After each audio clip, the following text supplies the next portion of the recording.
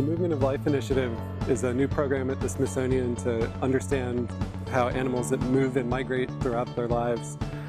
It's broken up into three parts on mammals, birds, and fish. And I'm the lead on the, the fish side where we study sharks, rays, and other kinds of fish.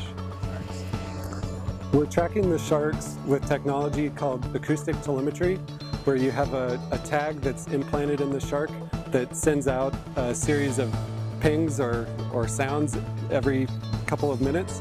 Um, then we have uh, both we and other researchers on the Atlantic coast have uh, receivers in the water that pick up those sounds and record the, the number.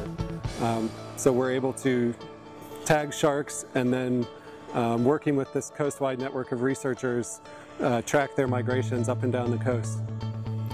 We're studying four species of sharks, the bull shark, dusky shark, black-tipped shark, and smooth dogfish.